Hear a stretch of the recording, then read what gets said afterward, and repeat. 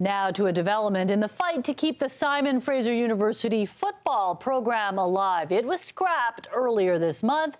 Today, players past and present filed a lawsuit and are seeking an injunction demanding SFU reinstate the program. CTV's Ben Nesbitt has more taking their fight from the fields to the courthouse. I hope that we can just get justice. Dozens of current SFU players as well as alumni gathered at BC Supreme Court in Vancouver Thursday.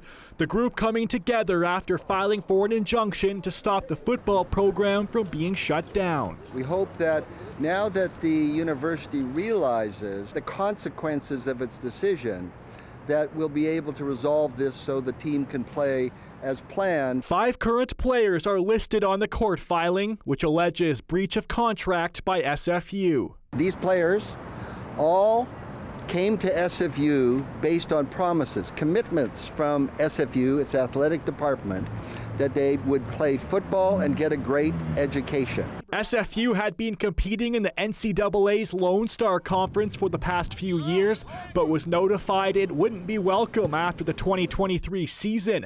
The university says despite its best efforts to find a solution, it was unsuccessful. Obviously, none of us signed up to play for two years and then have the program be completely cut.